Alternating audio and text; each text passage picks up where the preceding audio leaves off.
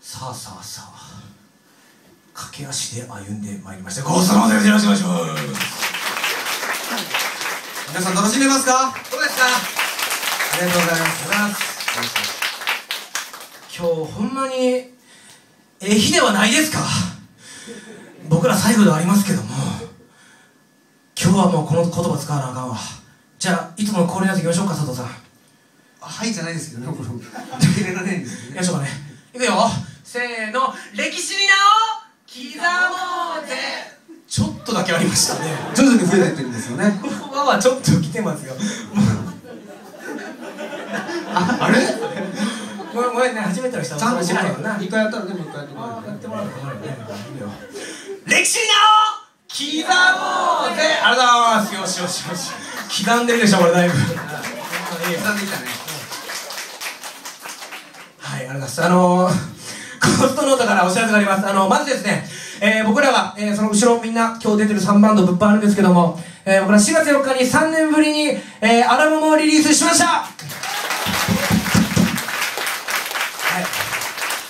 えータイトルは「気持ちは伝わる」という、えーアルバムなんですけども、あのーまあ、今日やった曲はやる曲は、えーとね、全部入ってます。えっ、とあの5曲入りで1500円であの初回限定は1600円の DVD 付きのやつもあるんですけどあのぜひこの機会にあの買って家で聴いてみてください。よろしくお願いします。そしてあの次のあの新潟のライブがもうガンガン決定します。っていうのもねあのさっきも言いました月刊ゴーストノート4月号。今日はねあの毎月新潟には、えー今年はライブで来てまして、えーもう12月までライブが全部決定してるんですけども、えーまずですね、えー5月の3日これ番外編なんですけども、はい。えっ、と番外だけにバンダイシティというところでえ？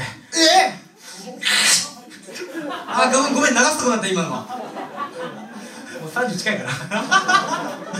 バンダイシティであのー、えー、に FM 新潟の、あのー、公開収録にあの出演するんですけどもそこであの無料の、えー、路上ライブをやります。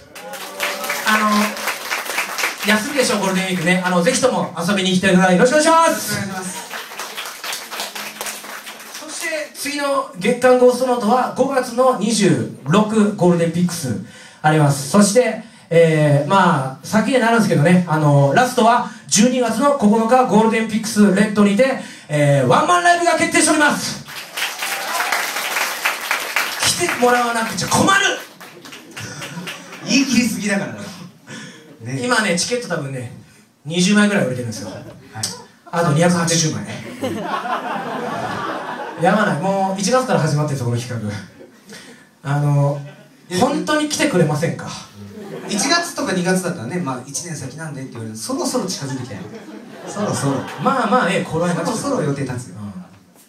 あの今日もねあのチケットを売りますんで僕らが。あの本当にお願いします。何卒？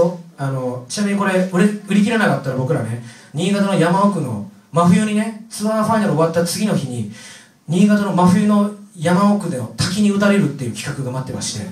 罰ゲームしたくないですわ本当に。リアルに言い方が。あのアラウェイが好きな人は絶対みんな来てください。よろしくお願いします安倍氏とかあのコンビニでバイトするのはそのワンマンに向けてバス買おうとしてるからね。みんな安倍氏のバスに乗って。なるほど。え本当本当におごりそうだからやめとくわそれ安倍氏僕本当に買いますよとか言いそう。いやもうほんまお願い。肯定どっち？出すは1割ぐらい。つまり1割しか出さんねや。はい、ぜひよろしくお願いします。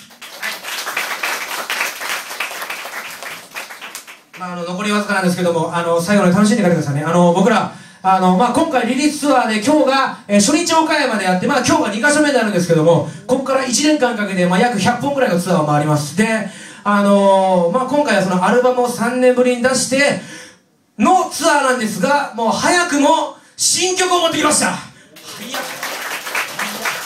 あのここでというかまあ今日ライブで初めてやる曲ですあの本当にあのどうなるかわからないけどみんな楽しんでくださいよろしくお願いします。